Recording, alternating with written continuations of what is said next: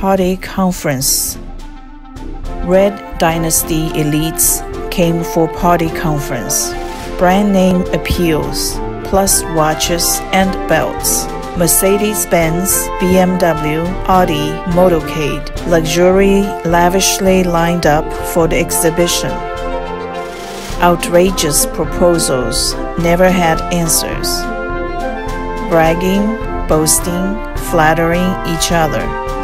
Never cared for citizens and their livelihoods. Cost billions of citizens sweat and blood. Without conscience, never remorse.